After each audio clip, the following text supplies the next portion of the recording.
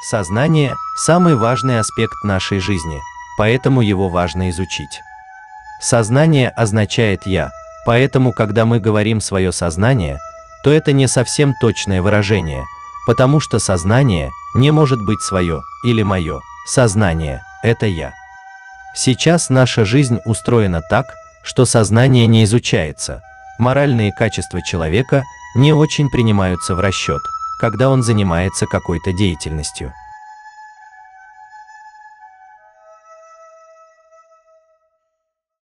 Вы говорите, видели это растение? Растение как растение, куст как куст. Дотроньтесь до него. Ну, всякие растения бывают, ядовитые растения, колючие растения, но всякие, да. Я так осторожно, с опаской, очень удивлен. Лист дерева при прикосновении сжался. Отреагировал, от касания отреагировал. Ветка отдернулась. Я вспомнил, что растения тоже живые. Они тоже могут как-то реагировать, потому что мы не чувствуем за пределами нашего восприятия их жизни. То есть мы их не понимаем. А в ведах описано друма. Растение — это друма. Что это такое? Спящее живое существо. Спящее живое существо. То есть это есть такое сознание, спящее сознание. Или иллюзорное представление о себе, о мире. Это тоже сознание, но спящее сознание, воображаемая вещь. Мы все с вами планируем жизнь в своем воображении, свою жизнь. Но все получится не так, как мы представляем. Обстоятельства какие-то еще складываются, и неожиданности, и вдруг все не так, как я планировал. Называется воображаемое наше знание. В этом смысле мы все грезим, потому что мы все воображаем себя счастливыми в будущем, богатыми, успешными. Ну, надеемся хотя бы на это. Но не часто это сбывается именно вот в полной степени, как мы этого хотим. А чаще всего вообще, как мы не хотим, не бывает.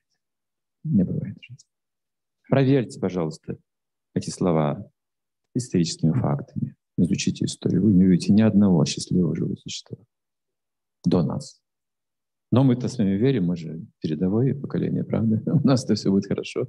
Хорошие дороги, правда, пробки. Ну, у нас самолеты есть, но, правда, пандемия еще бывает. И у нас есть деньги, но бывает дефолты.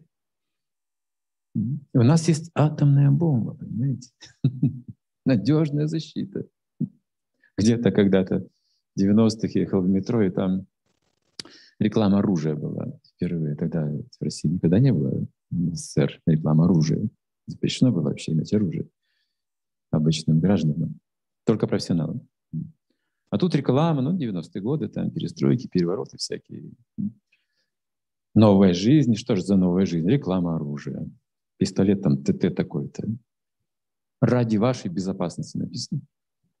Если все будут ходить с пистолетами, какая же будет безопасность? Иллюзия. То есть мы воображаем себя прежде всего. Этот мир мы представляем и живем по воображению ума, по желаниям чувств. Реальность другая. И веды говорят, осознай реальность, начиная с себя. Вот с этого начинается знание уже как таковое. О себе, о мире, об отношениях, чтобы ты действовал в знании, а не в грезах, не в невежестве. То есть, если мы познаем себя, мы освободимся от невежества. И увидим вещи, как они есть на самом деле. Интересно, да, утверждение? что я не вижу, как на самом деле. Никто из современных людей, ну, я имею такую смелость сказать, никто без специального образования не видит вещи в истинном свете. Ни один человек. Ни новорожденный, понятное дело, ни ребенок, ни подросток, ни зрелый человек, ни старик. Никто. Дети играют. Так они видят мир. Для нас это, скажем, какой-то амфитеатр, там кресло. Для них это, может быть, знаете, способ перелезть, перепрыгнуть, где-то вот повиснуть, куда еще залезть, может быть. О, за потолок залезть можно. Так мыслит ребенок. Так он видит мир. Помните? Ну, что мы только не придумывали. Взрослые поражались. от вот фантазии вообще. Кошки к хвосту привязали консервную банку. Кошка бегает, стучит банкой. Интересно же, правда? А еще были такие, знаете, выходки, о, серьезные уже. Мы боялись взрослых, но делали это все равно. Поджигали такую пленку, вот, фотопленку, тушили, она дымовуха называется, форточку забрасывали кому-нибудь. Ой, потрясающий там скандал, нам нравилось это. Еще, еще я вам скажу вещь. Я еще хочу тоже попробовать повторить это. Берете кошелек, набиваете чем-нибудь, ерунду. Веревочку делали? А, делали. Бросайте на дорогу и прячетесь там. Это Хашапахляк так делают, так верно? Дети, здорово, интересно жить. Смотрите, да? взрослые эти скучные работы, там туда-сюда, неинтересно. Я когда был ребенком, я думал, э, я никогда не стану взрослым. Нет, нет. Взрослый идет, странно, да? И впереди лужа. Он ее обойдет, понимаете, скукота. Я ее перепрыгиваю, понимаете? Или там скользко, я прокачусь, а они засыпают песком. Странный народ вообще.